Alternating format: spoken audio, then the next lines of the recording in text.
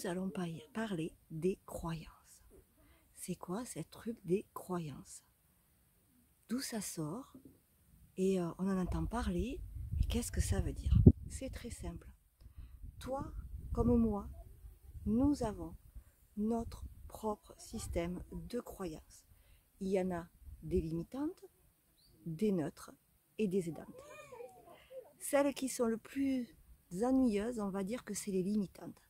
Limitantes, nous les avons acquises tout le long de notre vie, depuis notre tendre enfance, même dans nos anciennes lignées, mais aussi nous les avons acquises par nous-mêmes, parce qu'on est très fort à ça. Et souvent, ces croyances limitantes, tout le temps, nous limitent. C'est la palissade. Ces croyances limitantes, ce sont des, votre carte du monde, votre vision du monde, et cette cartographie de votre monde, les limitantes, elles vous bloquent. Je vous donne un exemple. Vous avez été élevé euh, dans une famille où on vous a dit que l'argent était sale. Et on vous l'a répété, répété, répété il y a fort à parier que dans vos comportements, à l'heure d'aujourd'hui, vous avez des comportements inconscients, vous savez que je dis souvent c'est inconscient, qui ont un rapport avec cette croyance, et donc elle vous empêche de vous impulser vers le haut et même peut-être d'avoir une abondance financière.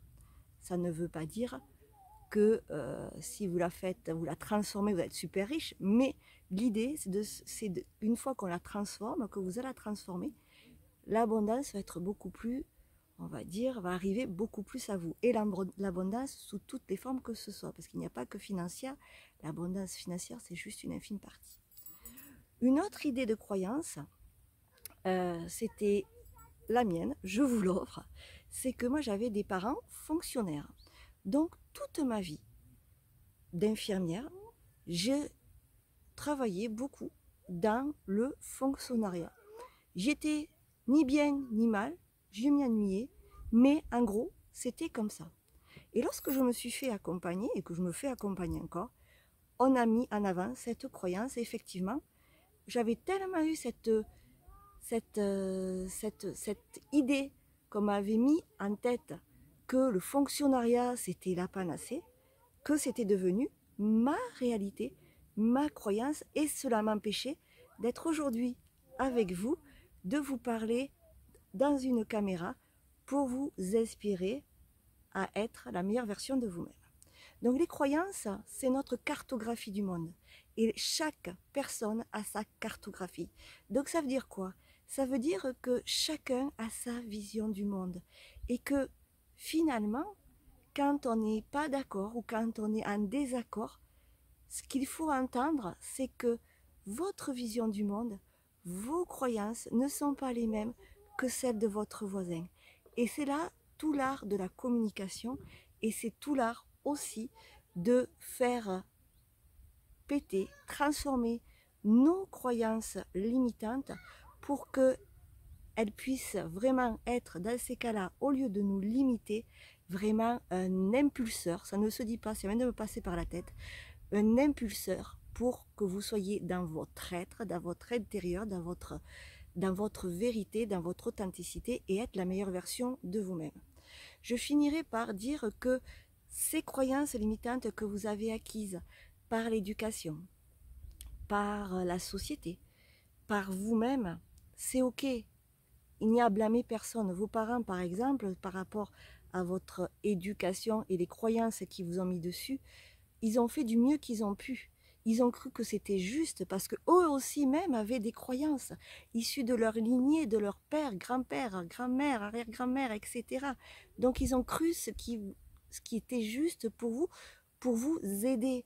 Donc c'est ok.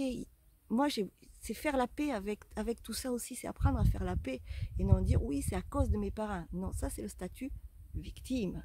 Quand on est dans l'action, quand on est dans l'être, quand on est dans le, choix d'avoir une vie qui nous ressemble, on dit ok, eh bien j'avais cette croyance, mes parents, celle-là, elle venait de mes parents, ils, m'ont, ils ont fait le meilleur pour moi, ils ont donné le meilleur pour moi, mais elle ne m'appartient pas, elle ne vient pas de moi, ce n'est pas moi, elle ne me correspond pas, donc je la transforme, tout simplement. C'est ce qu'on fait quand on accompagne des personnes, quand j'accompagne des personnes, on met, on met le doigt sur des croyances, et le but c'est de les transformer parce qu'elles ne disparaîtront pas à jamais. Ce qu'il faut bien comprendre, c'est que les croyances sont un mode de programme, comme dans votre ordinateur. Vous avez plein de programmes, et ce sont vos croyances. Alors, ce ne sont pas que vos croyances, bien évidemment. Il y a vos croyances, vos blessures, etc. Mais il y a une partie qui sont vos croyances. Et comme votre, votre ordinateur, eh bien, quand il vous arrive un événement douloureux ou pas, on va appuyer sur le programme. Par exemple, quand vous, avez, euh, vous êtes un, échec sur quelque chose, alors qu'il n'y a jamais d'échec, il n'y a que des enseignements, eh bien, ça va appuyer sur certains programmes de vos croyances limitantes, du style oui mais on me l'avait dit, j'étais comme ça, je suis comme ça et c'est comme ça et c'est parce que je suis comme ça que bien non, on peut changer, vous pouvez changer, vous avez le choix, vous avez votre libre arbitre de prendre votre vie en main, d'être la meilleure version de vous-même et d'avoir une vie à votre image et elle sera très belle puisqu'elle vous ressemblera et l'abondance de vie arrivera pour vous. À très bientôt.